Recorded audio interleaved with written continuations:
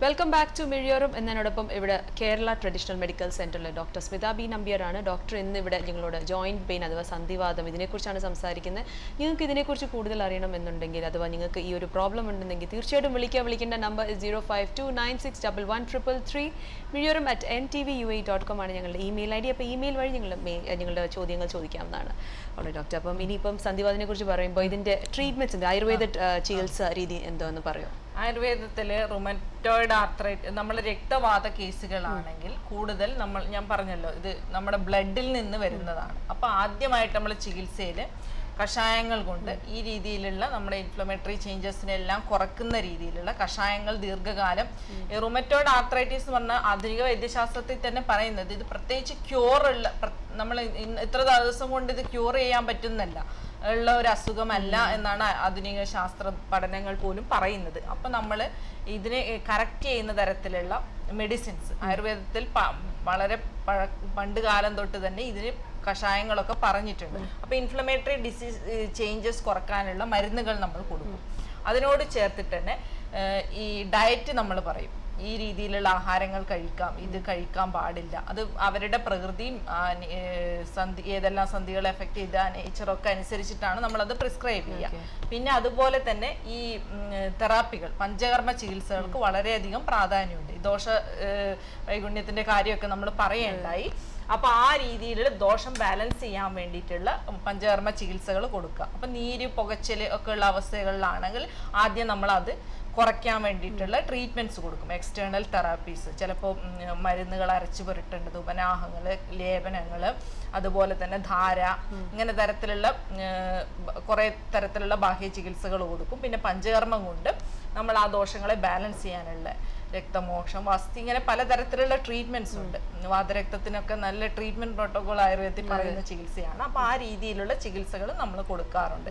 പിന്നെ നല്ല രീതിയിൽ ഇൻഫ്ലമേറ്ററി കേസസ് നമ്മൾ ഇപ്പോഴൊക്കെ റുമറ്റോളജിസ്റ്റുകൾ പോലും ആയുർവേദ ചികിത്സകൾ കോംപ്ലിമെന്ററി ആയിട്ട് പറഞ്ഞ് നമ്മുടെ അടുത്ത് റെഫർ ചെയ്ത് വരെ കേസുകൾ ചെയ്യാൻ പറ്റുന്നുള്ള ഒരു കാലഘട്ടമാണ് ഇപ്പോൾ കാരണം എല്ലാവരും ഇതിന്റെ ഇമ്പോർട്ടൻസ് അംഗീകരിച്ചിട്ടുണ്ട്. എക്സ്റ്റേണൽ തെറാപ്പിക്ക് ഇതിനുള്ളത്. കാരണം ലിവിങ് വിത്ത് ഡിസീസ് ആണ്. ഇത് നമ്മൾ ഡയബറ്റീസിനൊക്കെ പറയുന്ന പോലെയാണ് റൊമാറ്റോയിഡ് ആർത്രൈറ്റിസ് എന്നുള്ള ഒരു അവസ്ഥ. അപ്പോൾ അതിനനുസരിച്ച് നമ്മൾ അതിന് സപ്പോർട്ട് ഫാമിലിയിൽ നിന്നായാലും ഇമോഷണൽ ഒരു കൗൺസിലിങ്ങും എല്ലാം ആവശ്യമുള്ള കേസാണ് റൊമറ്റോയിഡ് ആർത്രൈറ്റിസ് കാരണം സന്ധികളിലെല്ലാം ചിലപ്പോൾ ഡീഫോമിറ്റീസ് എല്ലാം വരും. ഷേപ്പ് ഒക്കെ ഫിംഗേഴ്സിന്റെയും ഒക്കെ ഡിഫോമിറ്റീസ് അവരുടെ നോർമൽ ലൈഫ് ലൈഫ് എല്ലാം എഫക്റ്റ് ചെയ്യുന്ന കേസസ് എല്ലാം കാണാറുണ്ട്. അപ്പം നമ്മൾ അതിനനുസരിച്ചിട്ടുള്ള സപ്പോർട്ട് കൊടുക്കുക. പിന്നെ എക്സ്റ്റേണൽ തെറാപ്പീസ് നമ്മളെ കിഴികളും ഒക്കെ ചെയ്യുമ്പോൾ നല്ല രീതിയിൽ ആ വേദനയ്ക്ക് നമുക്ക് ശമനം കൊടുക്കാൻ പറ്റും. ഈ വേദന ശമനം വരുമ്പോ കുറഞ്ഞു വരുമ്പോ തന്നെ പേഷ്യൻസിന് അവർക്ക് ബെറ്റർ ഫീലിംഗ് ആണ്. അതൊക്കെ ഇതിൽ ട്രീറ്റ്മെന്റ് വളരെ ഇമ്പോർട്ടന്റ് ആയിട്ട് തോന്നിയിട്ടുണ്ട്. അപ്പം ഡോക്ടർ ആദ്യം തന്നെ ഇത് കണ്ടുപിടിക്കുവാണെങ്കിൽ ഇത് ബെറ്റർ ആയിട്ട് നമുക്ക് ചികിത്സിക്കാൻ ആദ്യം തന്നെ കണ്ടുപിടിക്കുന്നതല്ല. ഡിഫോമിറ്റീസ് എന്നൊക്കെ ഉള്ള ആ സ്റ്റേജിലൊക്കെ പോയി കഴിഞ്ഞാൽ വളരെ ബുദ്ധിമുട്ടാണ്. എക്സ്റ്റേണൽ തെറാപ്പി നമ്മൾ എപ്പോഴും എത്ര കൊടുത്തു കഴിഞ്ഞാലും ഡിഫോംഡ് ജോയിൻസിനെല്ലാം കറക്റ്റ് ചെയ്യൽ വളരെ ബുദ്ധിമുട്ടാണ്. അപ്പോൾ ആ രീതിയിലോട്ടൊന്നും പോവാതെ ഏർലി ഡിറ്റക്ഷനിൽ നമുക്ക്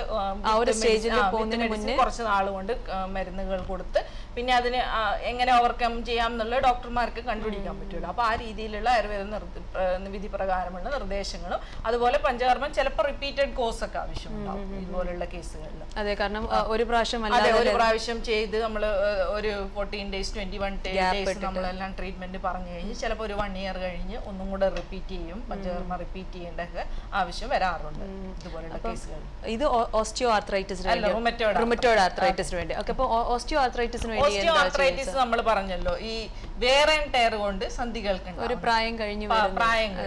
ഇത് നമ്മൾ പറഞ്ഞു കഴിഞ്ഞാൽ സന്ധികൾക്ക് ഒരു ലൂബ്രിക്കേഷൻ കുറവാണ് സംഭവിക്കുന്നത്. ഈ സന്ധികളിലുള്ള സൈനോവിയൽ മെമ്പറിന്റെ അളവ് കുറയുക. അപ്പൊ നമ്മളൊരു ഓയിലിംഗ് ആണ് നമുക്ക് അവിടെ വേണ്ടത്. ലൂബ്രിക്കേഷൻ കൊടുക്കുക. അപ്പൊ പിഴിച്ചൽ എന്നൊക്കെ പറഞ്ഞ ആയുർവേദത്തിന്റെ ചികിത്സ നമ്മൾ ഒരുപാട് എണ്ണ അവിടെ സപ്ലൈ ചെയ്യപ്പെടുന്ന ചികിത്സയാണ്. ഇതൊക്കെ നല്ല യൂസ്ഫുൾ ആയിട്ട്. പിന്നെ കഷായങ്ങളുടെ ഉപയോഗം. നല്ല എഫക്റ്റീവ് ആയിട്ടുള്ള മെഡിസിൻസ് ഉണ്ട്. ഇന്റേണൽ മെഡിസിൻസ് ഈ രീതിയിലുള്ള ഡിസ്ട്രക്റ്റീവ് ചേഞ്ചസിനെയൊക്കെ കുറയ്ക്കാൻ പറ്റുന്ന ആയുർവേദ രീതിയായുള്ള മരുന്നുകളുടെ ഉപയോഗം ഒരു പരിധി വരെ സഹായിക്കാറുണ്ട്. അപ്പൊ ഇത് കംപ്ലീറ്റ് ആയിട്ട് ക്യൂർ കംപ്ലീറ്റ് ആയിട്ട് ക്യൂർ എന്ന് പറഞ്ഞു കഴിഞ്ഞാൽ ഓസ്റ്റിയോ ആർത്രൈറ്റിസും നമുക്ക് ഒരു മാനേജബിൾ ഡിസീസ് ആണ് ആക്ച്വലി സന്ധിവാത രോഗങ്ങൾ. പക്ഷെ ആയുർവേദത്തിൽ നല്ല രീതിയിലുള്ള ഒരു സപ്പോർട്ട് ഇവർക്ക് കൊടുക്കാൻ പറ്റുന്ന കേസുകളാണ്. അതുപോലെ ഇതിനൊരു ടൈം ഫ്രെയിം ഉണ്ട്. എത്ര നാളാണ് ചികിത്സ? കാരണം കുറെ പേര് ഡോക്ടർ പറഞ്ഞ പോലെ കുറച്ച് നാൾ മരുന്ന് കഴിക്കും. ചിലപ്പോൾ ഒന്നര മാസം കഴിക്കുമ്പോൾ അത് മാറി. പിന്നെ മൂന്ന് മാസം കഴിഞ്ഞ് വീണ്ടും തിരിച്ചു വരുന്ന ഒരു അവസ്ഥ വരാറുണ്ട്. അസുഖം. അസുഖം അതെ. ഇത് ബ്ലഡിലുള്ളതായതുകൊണ്ട് നമ്മൾ അവരോട് പറയും. ഇത് കുറച്ചു കാലം മരുന്ന് കഴിക്കേണ്ടി വരും. കഴിച്ചു കഴിഞ്ഞ് ചില കേസുകളിലെല്ലാം പൂർണമായിട്ട് പിന്നെ റെക്കറൻസ് ഇല്ലാതെ എല്ലാം കണ്ടിട്ടുണ്ട്. നമ്മൾ കൃത്യമായ പഞ്ചകർമ്മ ചികിത്സയെല്ലാം കൊടുക്കുകയാണ്. എന്നാലും അവരോട് നമ്മൾ ഫോളോ അപ്പിൽ ചിലപ്പോഴൊക്കെ നിർദ്ദേശിക്കാറുണ്ട്. ഓക്കെ. ഓൾറൈറ്റ് ഡോക്ടർ നമുക്ക് വേറൊരു മെയിൽ അയച്ചെങ്കിൽ സതീഷാണ്. വൈഫിന് വേണ്ടിയാണ്. ലെഫ്റ്റ് കൈ മുട്ടിന്റെ മുകളിൽ നീര് വന്നു. അതുപോലെ വേദനയുണ്ട്. പിന്നെ കഴുത്തിൻ കഴുത്തിന്റെ ഭാഗത്തോട്ട് അത് സ്പ്രെഡായി നീരായി മാറി. ഇപ്പോൾ എക്സസൈസ് ഒക്കെ ചെയ്യുന്നാലും കുറവില്ല എന്നാണ് പറയുന്നത്. ഇത് സന്ധിവാത രോഗത്തിന്റെ ലക്ഷണങ്ങളാണോ? കൈ മുട്ട് മാത്രം. മാത്രം. ആ. അപ്പൊ അത് സ്പ്രെഡായി കഴുത്ത് വരെ വന്നു ഇത് കൈ മുട്ടിന്റെ ഒരു ഭാഗത്ത് മാത്രം നമ്മൾക്ക് വരുന്നത്. ഈ ടെന്നിസ് എൽബോ എന്ന് പറയുന്ന ഒരു കേസുണ്ട് ടെന്നിസ് എൽബോ എന്ന് പറയുന്നതൊക്കെ നമുക്ക് വാതരോഗത്തിൽ ഉൾപ്പെടുത്തി പറയാവുന്ന കേസുകൾ തന്നെയാണ്.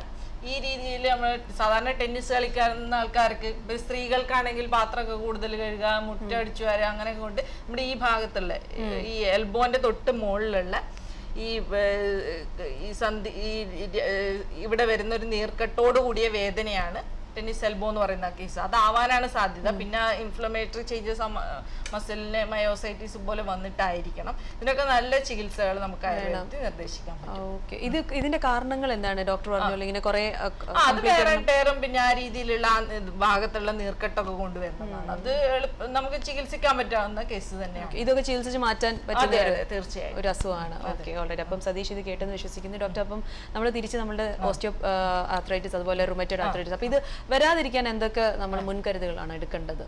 ഇത് വരാതിരിക്കാൻ എന്ന് പറഞ്ഞു കഴിഞ്ഞാൽ ഓസ്റ്റിയോ ആർത്രൈറ്റിസിൽ ഞാൻ പറഞ്ഞു ഒബേസിറ്റി ഭാരം പിന്നെ എക്സസൈസ് ഇതൊക്കെ നമ്മൾ ലൈഫ് സ്റ്റൈൽ മോഡിഫിക്കേഷൻ എന്നൊക്കെ പറയില്ലേ? അതായത് അമിതഭാരം കുറക്കുക. പിന്നെ ജോയിന്റുകൾക്ക് എക്സസൈസ് നല്ലതാണ്.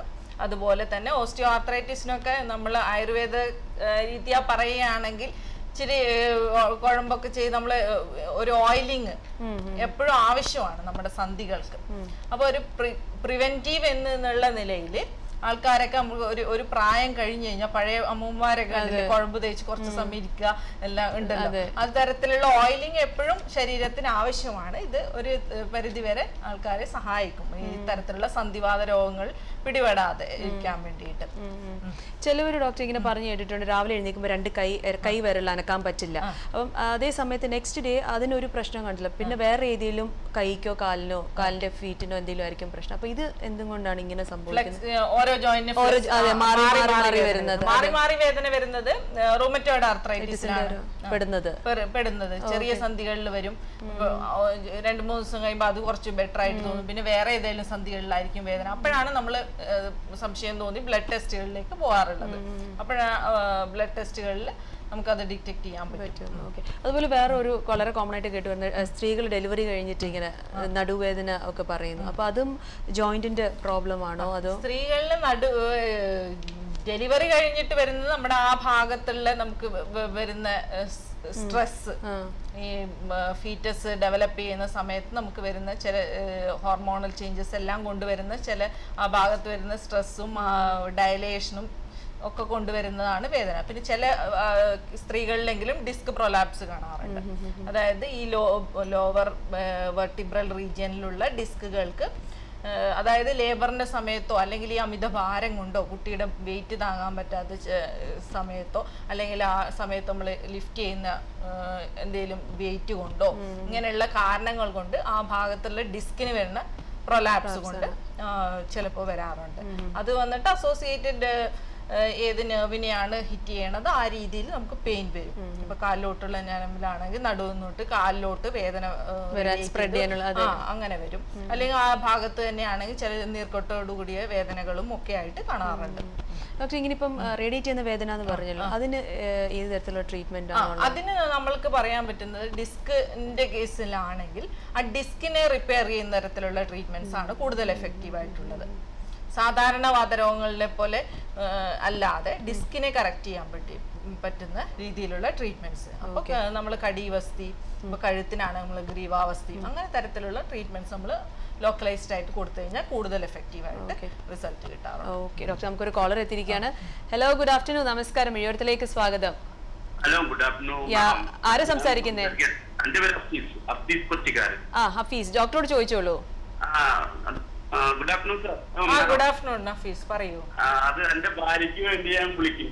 കാരണം എന്റെ കുറച്ച് ദിവസമായിട്ട് ആൾക്ക് കയ്യിന്റെ കയ്യിന്റെ മുകൾ ഭാഗത്ത് ഭയങ്കര സ്റ്റിഫ്നെസ് കൈയിന്റെ അതന്നെ. ഭയങ്കര കയ്യിന്റെ മുകൾ ഭാഗത്തായിട്ട് ഭയങ്കര വിരലിനാണ് ഉദ്ദേശിച്ചത് വിരലിന്റെ സന്ധികൾക്കാ? വിരലിന്റെ ആണല്ലേ കയ്യിന്റെ മുകൾ ഭാഗം അതായത് ഷോൾഡറിന്റെ ഭാഗമായിട്ട്. ഷോൾഡറിന്റെ ഓക്കെ അപ്പൊ മുട്ടിനും വേദനയുണ്ട്. കൈമുട്ടിന്. കൈമുട്ടിനല്ല കാൽമുട്ടിനും? ആദ്യം കാൽമുട്ടിന്റെ വേദന ഉണ്ടായിരുന്നു. ഓക്കെ. ആദ്യം കാൽമുട്ടിന് വേദനയാണ് തോന്നിയത് അല്ലേ? എത്ര ഏജ് ഉണ്ട് ആൾക്ക് ഒരു അമ്പത്താറ് വയസ്സ്. അമ്പത്തി ആറ് വയസ്സ്. ആ ഇത്. മുട്ടുവേദനയാണ് ആദ്യം തുടങ്ങിയത് ഇപ്പൊ ഷോൾഡർ വേദനയായി. അല്ല മുട്ടുവേദന ആദ്യം തുടങ്ങിയത്. ഇപ്പൊ രണ്ടാഴ്ചയായിട്ട് ഷോൾഡറിന്റെ അതായത് നമ്മളെ കയ്യിന്റെ മുകൾ ഭാഗത്തായിട്ട് ഓക്കെ. ഇത് സാറിന്റെ വൈഫിനുള്ളത് ഓസ്റ്റിയോ ആർത്രൈറ്റിസ് ആണെന്നാണ് നമുക്ക് പറയാൻ പറ്റുന്നത്. ഏജ് ഏജ് ആണ് ഒരു കാരണം. അപ്പൊ സന്ധികളിലുള്ള തേയ്മാനം എക്സ്റേ എന്തെങ്കിലും എടുത്ത് നോക്കിയിട്ടുണ്ടോ? അത് ഇപ്പൊ എടുത്തിട്ട് മയോസ്റ്റാൾ മയോസ്റ്റാൾ കഴിക്കുന്നുണ്ട് ആ ഹാ ഹാ ഹാ. മയാസ്റ്റാളും പ്രസിഡന്റാദി കഷായവും കഴിക്കുന്നുണ്ട് അതിപ്പോ ഒരാഴ്ചയായി കഴിച്ചു തുടങ്ങിയിട്ട്. Okay okay okay. അപ്പോഴതിന്റെ അപ്പൊ ഈ മുട്ടുവേദനക്ക് പറ്റുന്ന രീതിയിലുള്ള കഷ തൈലങ്ങളും എല്ലാം അപ്ലൈ ചെയ്തോളൂ. അതിപ്പോ രണ്ടു മൂന്ന് തൈലം അപ്പളം മറ്റേ ഇതുണ്ടല്ലോ. ഈ മറ്റേ ഒന്ന് രണ്ട് തൈലങ്ങളൊക്കെ അപ്ലൈ ചെയ്തിരുന്നു. ചെയ്തിരുന്നു അല്ലേ? കർപ്പൂരാതി തൈലവും പത്തനംതിട്ടാജും അത് ഇതൊക്കെ അപ്ലൈ ചെയ്തിരുന്നു. ആ അപ്പൊ നീര് വലിയുന്ന രീതിയിലുള്ള വേറെ തൈലങ്ങളും അതുപോലെയുള്ള ട്രീറ്റ്മെന്റുകളുടെ എല്ലാ സഹായം കൊണ്ട് കുറയും കേട്ടോ? ഓസ്റ്റിയോആർത്രൈറ്റിസ്. പിന്നെ ഈ തേയ്മാനം കൊണ്ട് വരുന്നതാണ്. ആൾക്ക് ഭാരം കൂടുതലുണ്ടെങ്കിൽ ആ വെയിറ്റ് ഒന്ന് കുറക്കേണ്ടി വരും. ആ അതെല്ലാം കൂടെ ചേർത്ത് വരുമ്പോ ഒരു പരിധി വരെ ആശ്വാസം വരും. ഇത്രയൊക്കെ വേദന കുറഞ്ഞിട്ടുണ്ടോ ഇപ്പോ? ആ കൊ- ആ, ആ, ഇത് കഴിച്ചു തുടങ്ങി കുറേശ്ശെ അത്ര അധികം കുറഞ്ഞിട്ടില്ല മാഡം. ആ പ്രസാരണയാദിയൊക്കെ ശരിക്കും സ്പോണ്ടലോസിന് മാത്രം മുട്ടുവേദനക്കൊക്കെ കൂടുതൽ എഫക്റ്റീവ് ആയിട്ടുള്ള കഷായങ്ങളും വേറെ തരത്തിലുള്ള മരുന്നുകളൊക്കെ ഉണ്ട്. ഏഹ് അതും കൂടെ ഒക്കെ കഴിച്ചു കഴിഞ്ഞാൽ നല്ലതായിരിക്കും. Okay. Okay? Okay. Okay. Okay madam. Okay. Thank you. For calling office okay. All right അപ്പം ഡോക്ടർ നമ്മളിപ്പോൾ ആമ ഇത് സന്ധിവാദം അതുപോലെ ആമവാദം അപ്പോൾ ഈ ഇങ്ങനെ വരുമ്പം നമ്മളുടെ ബോഡിയിൽ വേറെ ഏതെങ്കിലും രോഗങ്ങൾ വരാൻ സാധ്യതയുണ്ടോ? ഈ ഒരു അസുഖം വരുവാണെങ്കിൽ? ആമവാദം അല്ലെങ്കിൽ രോഗങ്ങൾ വരുമ്പോൾ വരുമ്പോ? പറഞ്ഞു കഴിഞ്ഞാൽ ഇതിനനുസരിച്ച് റുമറ്റോഡ് ആർത്രൈറ്റിസിലൊക്കെ കോംപ്ലിക്കേഷൻ ആയിട്ട് നമ്മൾ പറയാന്ന് പറഞ്ഞാൽ ഈ ഇൻഫ്ലമേറ്ററി ചേഞ്ചസ് ഈ ഓട്ടോ ഇമ്മ്യൂൺ ഒരു കാരണം കൊണ്ടുവരുന്ന ഡോക്ടർ അതിന് മുന്നേ നമുക്കൊരു കോളർ എത്തിയിരിക്കുകയാണ്. അത് കഴിഞ്ഞ് നമുക്ക് തിരിച്ച് ക്വസ്റ്റ്യനിലേക്ക് വരാം. ഹലോ ഗുഡ് ആഫ്റ്റർനൂൺ നമസ്കാരം. നമസ്കാരം. ആരാ സംസാരിക്കുന്നത് ലതാ നായർ. ലതാ നായർ. ഡോക്ടറോട് ചോദിച്ചോളൂ. ആ. പറയൂ മാഡം. ഹലോ? ഗുഡ് ആഫ്റ്റർനൂൺ ആ ഗുഡ് ആഫ്റ്റർനൂൺ ലതാ നായർ. ചോദിച്ചോളൂ ഡോക്ടറോട്. ഈ സോജൻ സിൻഡ്രോം എന്ന് പറയുന്ന അസുഖത്തിനുള്ള ട്രീറ്റ്മെന്റ് എന്താ? ആയുർവേദിക്. ട്രീറ്റ്മെന്റിൽ ഷോജർ സിൻഡ്രോമും ആർത്രൈറ്റിസിന്റെ ഒരു വകഭേദം തന്നെയാണ്. കേട്ടോ? അപ്പോഴ് അതിനും ആയുർവേദത്തിൽ ഇപ്പോഴെന്താ ട്രീറ്റ്മെന്റ് ചെയ്തോണ്ടിരിക്കുന്നേ? മാഡം? ഇപ്പൊ ഒന്നും ചെയ്യുന്നില്ല. അതാണെന്ന് ഇംഗ്ലീഷ് മരുന്ന് കൊണ്ട് ട്രീ മനസ്സിലാക്കിയിരിക്കുന്നു. ആ ടെസ്റ്റുകൾ കൊണ്ട് എന്താണ് ആയുർവേദ രീതിയാൽ ആണ് ട്രീറ്റ്മെന്റ് ചെയ്യാൻ ഉദ്ദേശിക്കുന്നതെങ്കിൽ ഇപ്പൊ സന്ധികളിൽ വേദന ഉണ്ടോ? അത് ഇംഗ്ലീഷ് മരുന്ന് കഴിച്ചു കഴിഞ്ഞപ്പോ കുറച്ച് കുറഞ്ഞിട്ടുണ്ട്. ആ ഇംഗ്ലീഷ് മരുന്നുകൾ കണ്ടിന്യൂ ചെയ്യണോന്ന് അറിയില്ല. എന്താണ് ഡോക്ടർ നിർദ്ദേശിച്ചത്? ഡോക്ടർ നിർദ്ദേശിച്ചത് അത് കണ്ടിന്യൂ ചെയ്യണം എന്നുള്ള രീതിയാണ് പറയുന്നത്. പക്ഷേ ഞങ്ങൾക്ക് ആയുർവേദം ചെയ്താൽ കൊള്ളാം. അപ്പോൾ ആയുർവേദ രീതിയാലാണെങ്കിൽ നമ്മൾ അതിന് മെഡിസിൻ കൊടുക്കും. ഇന്റേണൽ മെഡിസിൻ കൊടുക്കും. കൂടെ തന്നെ എക്സ്റ്റേണൽ തെറാപ്പിക്കും ഒരുപാട് ഇമ്പോർട്ടൻസ് ഉണ്ട്. കാരണം സന്ധികളുടെ മൊബിലിറ്റിയെ കറക്റ്റ് ചെയ്യാനും ആ ഇൻഫ്ലമേറ്ററി ചേഞ്ചസിനൊക്കെ ഒരു ശമനം വരുത്താനും നമ്മൾ ചികിത്സകൾ പഞ്ചകർമ്മ ചികിത്സകൾ ചെയ്യേണ്ടത് അത്യാവശ്യമാണ്. അതിന്റെ കൂടെ തന്നെ അവർ പറയുന്നു ഈ പ്രോട്ടീന്റെ അളവുകൾ കൂടുതലാണ് എന്നൊക്കെ പറയുന്നുണ്ട്. ആ. അതൊക്കെ കറക്റ്റ് ചെയ്യാൻ തരത്തിലുള്ള മെഡിസിൻസ് ഇപ്പൊ നിങ്ങളുടെ ബ്ലഡ് റിപ്പോർട്ടും ഇപ്പൊ കഴിക്കുന്ന മരുന്നുകളുടെയും എല്ലാം എല്ലാം എടുത്തിട്ട് ഒരു ആയുർവേദ ഡോക്ടറെ പോയി കണ്ടു കഴിഞ്ഞാൽ അവർ എന്തൊക്കെയാണ് അതിന് ചെയ്യാൻ പറ്റുന്നത്? കോംപ്ലിമെന്ററി ആയിട്ട് ദുബൈയിൽ തന്നെ അതിന്റെ ട്രീറ്റ്മെന്റ് നടത്താൻ പറ്റുമോ ഓ ഓഫ് കോഴ്സ് ചെയ്യാലോ. Okay okay. Okay. Okay. Thank you, Lata. Okay. Thank you, doctor. Okay. Thank, thank you, you, Lata, for calling. അപ്പോൾ ഡോക്ടർ നമ്മൾ സംസാരിച്ചോണ്ടിരുന്ന ഈ ആമവാദം അല്ലെങ്കിൽ സന്ധിവാദം കാരണം വേറെ വേറെ. അപ്പൊ ഇതൊരു സിസ്റ്റമിക് ഇൽനെസ് ആണെന്ന് നമ്മൾ പറഞ്ഞല്ലോ. അപ്പൊ- അപ്പൊ ഈ തരത്തിലുള്ള ഇൻഫ്ലമേറ്ററി ചേഞ്ചസ് ഇപ്പൊ ഇതുപോലെ സിൻഡ്രോംസ് ആയിട്ട് വരാറുണ്ട്. അതായത് വേറെ അവയവങ്ങളെയും ബാധിക്കാം. ഇപ്പൊ കൂടിക്കഴിഞ്ഞാൽ. ആ ഇപ്പൊ സ്ക്ലീറ നമ്മളെ കണ്ണിന്റെ ഉള്ളിലെ സ്ക്ലീറ സ്ക്ലീറയെ ബാധിച്ച സ്ക്ലീറൈറ്റീസ് ആയി മാറാറുണ്ട്. ചിലപ്പോൾ നമ്മുടെ ഈ പ്ലൂറ എന്നൊക്കെ പറയും. നമ്മളെ ലങ്സിനെ കവർ ചെയ്യുന്നൊരു കവറിങ് ഉണ്ട്.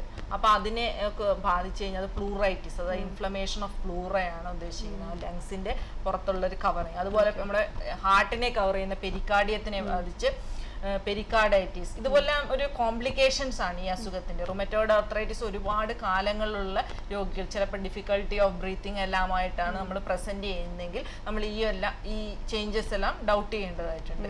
അതുപോലെ ഇത് കാരണം അങ്ങനെ കൊറോണറി ഹാർട്ട് ഡിസീസസ് ഒക്കെ വരാം അത് റൊമാറ്റിക് ഫീവർ ഫീവറിലാണ് അത് സ്ട്രെപ്റ്റോകോക്കൽ ഇൻഫെക്ഷൻ ആണ് അതിന് കാരണം. ത്രോട്ട് പെയിൻ ഒക്കെ ആയിട്ട് ഞാൻ പ്രസന്റ് ചെയ്യും നമ്മൾ ആദ്യം പറഞ്ഞിട്ടുണ്ടായല്ലോ. അപ്പൊ ആ കേസുകളിലെല്ലാം ഒരുപാട് കാലങ്ങൾ. ഇപ്പോഴത്തെ കാലത്ത് കാരണം എല്ലാവരും ഏർലി ഡിറ്റക്ഷനും അതിനുള്ള മെഡിസിനും ആന്റിബയോട്ടിക് അവൈലബിൾ ആണ് പക്ഷെ നമ്മളൊരു thirty five forty years back ഒക്കെ ആണെങ്കിൽ സാധാരണ പനിയാന്ന് വെച്ച് വെച്ചുകൊണ്ടിരുന്നിട്ട് ട്രീറ്റ്മെന്റ് ഒന്നും ഇല്ലാതെ ഒരുപാട് അവസ്ഥകളിൽ ഇത് ഹാർട്ട് ഡിസീസ് ആയിട്ട് റൊമാറ്റിക് ഹാർട്ട് ഡിസീസ് ആയിട്ട് ബാധിച്ച് വാൽവിനൊക്കെ വരുന്ന ചേഞ്ചസും ഒക്കെ ആയിട്ടുള്ള ഒരു അവസ്ഥയിലോട്ട് പോവാറുണ്ട്. അതൊക്കെ വളരെ ഒരു ലൈഫ് ത്രെട്ടനിങ് കേസസ് ആണ്. ഓക്കെ അത് റുമറ്റ റുമറ്റിക് ഫീവർ വന്നാലേ ഇങ്ങനെ ഒരു റൊമാറ്റിക് ഫീവറിലാണ് റൊമാറ്റിക് ആർത്രൈറ്റിസിൽ ഹാർട്ട് വാൾസിനെ എഫക്ട് ചെയ്യാറില്ല. റൊമാറ്റിക് ഫീവറിലാണ് ഹാർട്ട് വാൾസിനെ എഫക്ട് ചെയ്യുന്നത് ഓക്കെ ഓക്കെ ഡോക്ടർ ഞാൻ വേറെ ഒരു മെയിൽ വായിക്കാം.